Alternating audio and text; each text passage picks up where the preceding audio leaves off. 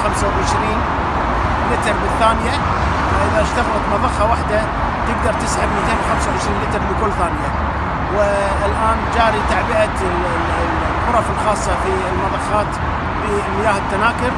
آه، حتى نشوف قدرتها على التشغيل ونتأكد من صلاحيتها استعدادا لهذا الموسم. طبعا في ثلاث تناكر الآن قاعد تنزل مياه حوالي 11000 جالون حوالي تقريبا 44000 لتر. اشتغلت واحدة بس منهم راح تسحب الماء في خلال ثلاث دقائق ونص فقط.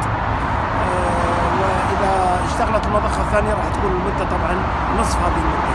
وبعدها راح نروح إن شاء الله نتأكد من غرفه المضخات الثانية وأيضا آه، نتأكد من باقي المضخات اللي موجودة على الدائر الأول وعددها خمسة. مجموع المضخات اللي إحنا الآن مسؤولين عنها هي 18